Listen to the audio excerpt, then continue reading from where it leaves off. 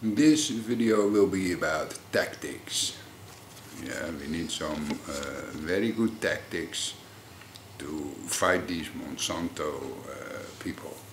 And the first thing is that we should go after the uh, executives, get personal with these people, send them emails, flood their inboxes, that we do not accept your stuff.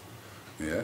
Flood them and flood them and flood them. And this is the way these people, you know, will begin to listen because when their inboxes are flooded with all kinds of messages from us, then their business messages, well, you know, they get a bit lost in between the mass.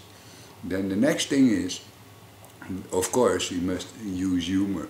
We must show that these people are actually ridiculous, not so much clever, not so much scientific, but ridiculous. Yeah? And that is uh, another thing that we have to use, use humor. Because if we can make the people laugh, if you have the laughers on your hand, you have won half the, the, the, the battle already. And then of course there are the shareholders. And the shareholders, they are the people that matter because these people, if we can, uh, if we can uh, push them to dump the shares of Monsanto, then the shares will go all the way down and the value of the company will be less. Yeah? Another thing that we can use in the tactics is to show where they have gone wrong. Yeah? Is to show with evidence that we have uh, that, hey guys, uh, you have made this claim and this is the result. You have made that claim and that is the result. And so forth, you know, it is a bit like uh, uh, when they said to the Indian cotton farmers, "Oh, you will get a lot more, uh, a lot more harvest from this." And what happened? The Indian cotton farmers, they got so much in debt that 250,000 of them committed suicide. And so that's another thing that we can use against the executives and the shareholders is to shame them. Yeah? Shame them that, hey guys, you are, you are financing the murder of people. Yeah, because basically that is murder. Put people in, in, into such a situation that the only way out for him is suicide, that amounts to murder. Because you drive him to suicide. Yeah? So these are the kind of tactics that we can use. Shame the executives and the shareholders, make them look ridiculous, and of course uh, present them with the facts. And once we do that, I think uh, if we do this on a massive basis, I think that shareholders and executives will begin to think a little a little bit more before they are doing things and before they are saying things. Yeah, and it will it will expose the company as a bunch of ruthless business people who are not interested in the welfare of the of the population, who are not interested in the welfare of uh, the farmers, and who are not interested in the in the welfare of anything but their bank accounts. And that is what we have to shame.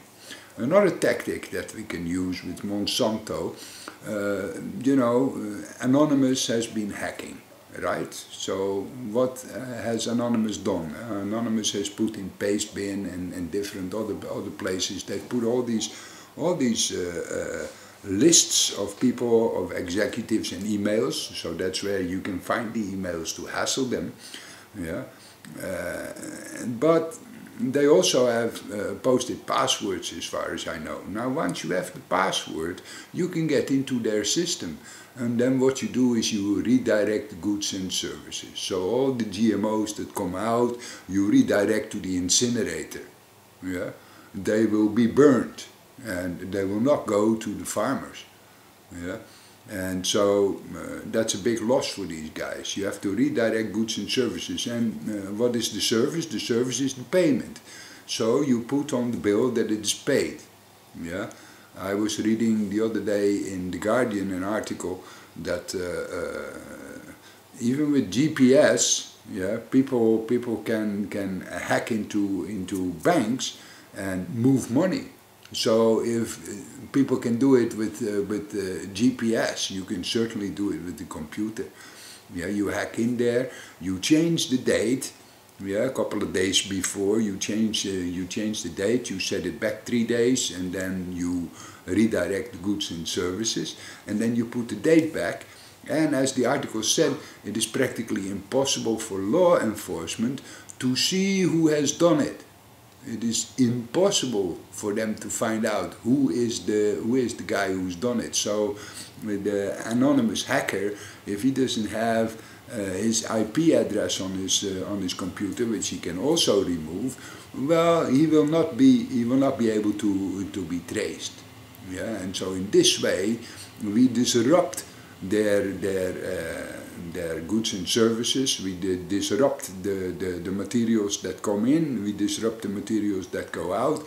And pretty soon the whole company is in chaos. And that's what we want.